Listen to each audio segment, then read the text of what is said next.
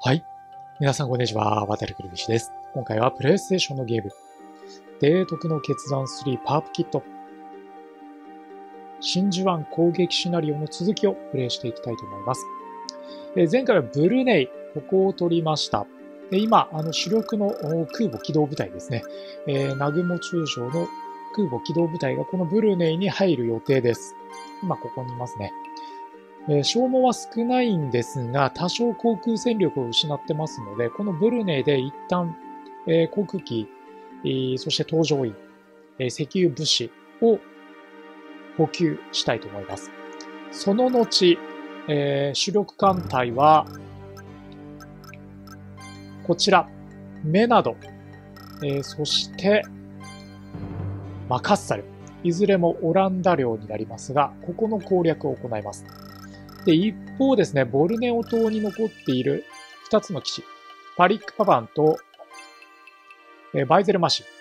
えこのバリックパバンとバイゼルマシンに関しては、ブルネイに新しくですね、陸軍の本間中将を配置しました。えここに守備隊、陸戦隊を動員してですね、陸路でバリックパバンとバイゼルマシン、この2つの基地、ボルネオ島の制圧をしてもらいたいというふうに思っています。では、早速時間を進めていきたいと思います。えーここまで、まあ、空母は失っていない、戦艦も失っていないというところではあるんですけども、まあ、多少なりともですね、艦船も失ってますので、え空母の増強、そして、えそれを護衛する駆逐艦、これの増強、この2つはね、しっかりやっていきたいというふうに思っています。作戦中ではありますけども、艦隊の再編を行いました。えー、断念の艦隊ですね。えー、高須さんが艦隊の司令官を務めているここに、えー、三艦大和をはじめとする主力の戦艦部隊、これを集結させました。で第一艦隊、えー山本五十六が指揮していた第一艦隊はですね、まあ、実質解体して呉に留め置きます。えーこの理由はですね、第一艦隊、えー山本長官が呉から離れていると、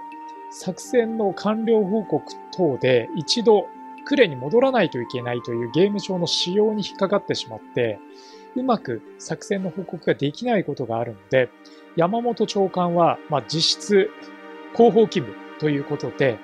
えー戦艦大和をはじめとする主力の戦艦部隊は第7艦隊高須さんに預けます。そして、えーこれは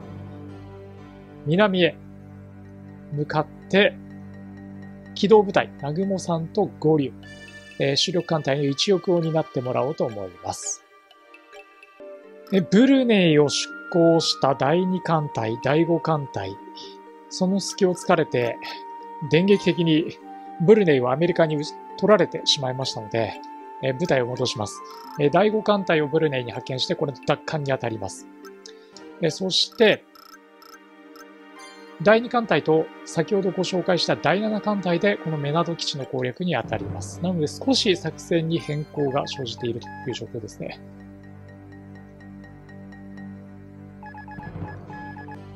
まあ、ブルネイを取られてしまったのは痛いですが、まあ、すぐに奪還して、えーこのボルネオ島のね、えー占領制圧作戦の続きを再開していきたいと思います。では、えーダバオから第2艦隊、そしてヤマトがいる第7艦隊、これを目などに向けて出撃させていきましょう。では、第7艦隊、そして、えー空母の第2艦隊出撃です。で今、同時に進行している作戦としては、えブルネイの奪還作戦、えーそしてメナドの攻略作戦、この2つですね。これをまず無事に完遂したいというのと、えーなんといってもですね、ヤマト。これが実質本格的なあ戦闘に加わる初めての作戦になるかと思いますので、まあ、ヤマトのね、その高火力ぶりも注目をしていきたいというふうに思います。で今ご覧いただいているのはメナドの攻略戦ですね。えー早速攻略戦に入ってまいります。第7艦隊。これはヤマトのいる艦隊になりますけども、ここに軽空母2隻、まあ、護衛という色合いが強いんですけども、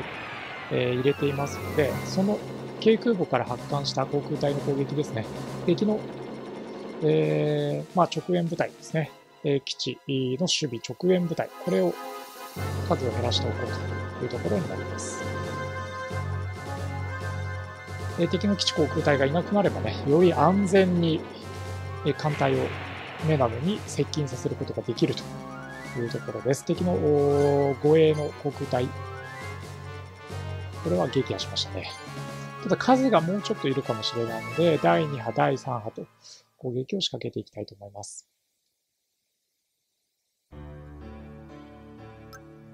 では、早速、目などに向けて主力の航空隊を前期、全364、364機ですね。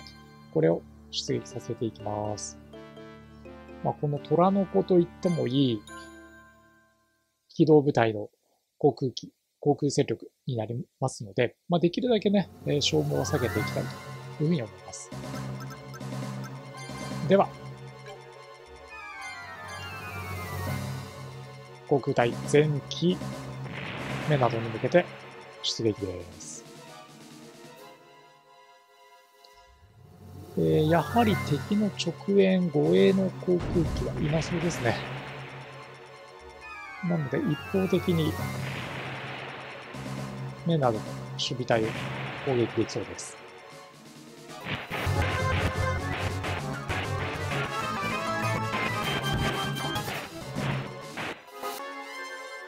はい。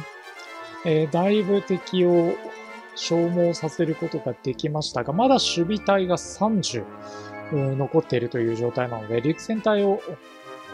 上陸させる前にもう少し敵の守備隊削りたいかなというところですね。では、高須さんの第7艦隊、えー、戦艦大和をはじめとする主力の戦艦部隊が目などに到着しましたので、えー、砲撃戦を開始していきましょう。まあ、高火力のヤマトをはじめとする戦艦なので、敵の守備砲台、これを撃破しつつですね、陸戦隊が上陸する準備を行っていくという流れになります。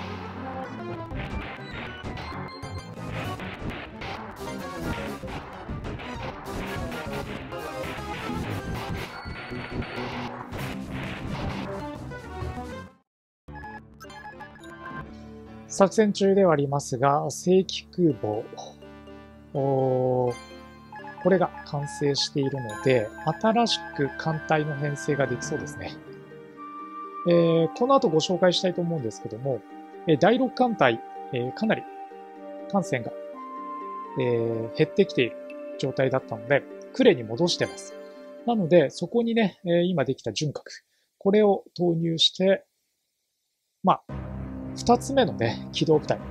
規模としてはあ少し小さくはなりますけども、えー、2つ目の機動部隊として編成をね、えー、していければいいかなというふうに思います。えー、今ご覧いただいているのは、目などの攻略戦ですね。戦艦大和で、まあ、実質上の初陣といえる目などの攻略戦です。